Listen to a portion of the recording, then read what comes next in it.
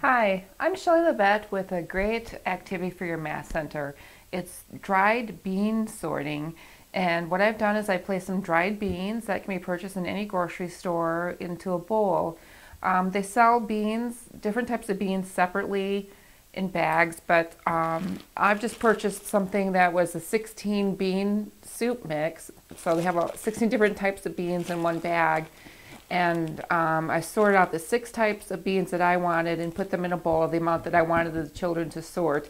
I did pick um, beans that were not similar to each other, were different sizes, um, but were not too small. But they're um, excellent for fine motor skills development um, because they have to pinch it and grab it and pick it up. So this is an excellent activity for that as well. Um, I choose six muffins for my age group, but you can do more if um, muffin tin, um, but you can do more or less depending on the age of the children that you have in your class or care.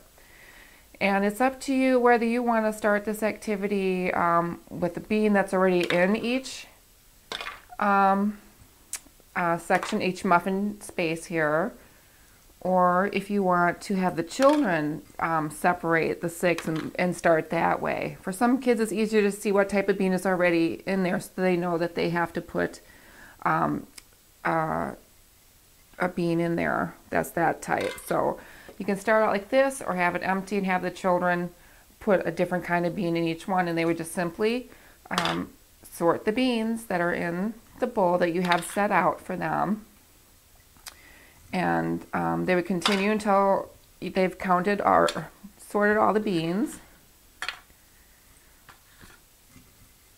And at the end of this activity, uh, this is optional, again, depending upon the um, group age group of the children that you have. I have a sheet available on my website at childcareland.com underneath the video section. And it is how many dried beans did you sort?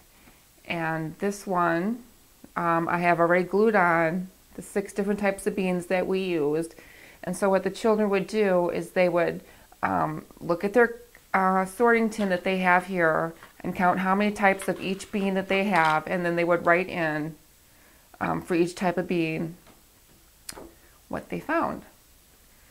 So again, this is a great math development skill because you have to uh, sort and you have to count and it's also excellent for fine motor skills development because you have to really work to pick up um, these beans and hang on to them and put them in the spot where they belong. For dried bean sorting, I'm Shelly Levette with ChildCareland.com, and thank you for watching.